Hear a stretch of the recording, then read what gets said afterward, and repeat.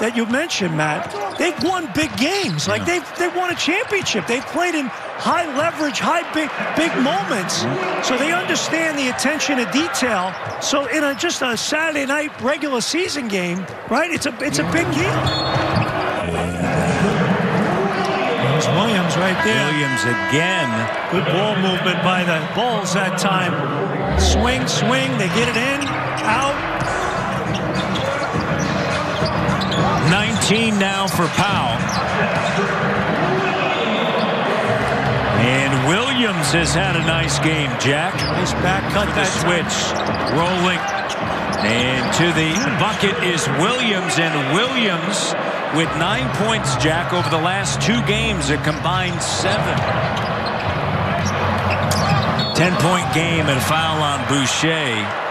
But as you said, points and rebounds, That's what you need. assists, steals, I'm a fo- deflections. I'm a former coach. Just get me the deflections. players. Get to the deflections, Get me- right? get me line. And then the cut by Williams. How about that? What a pass by Satoransky. Yes. Williams is a good off-ball cutter. Some guys ball watch. Yeah. He, yeah, that's smart. He's got 13 and now 16. You know, I can see why they liked him. He's just a cerebral, intelligent, sound player.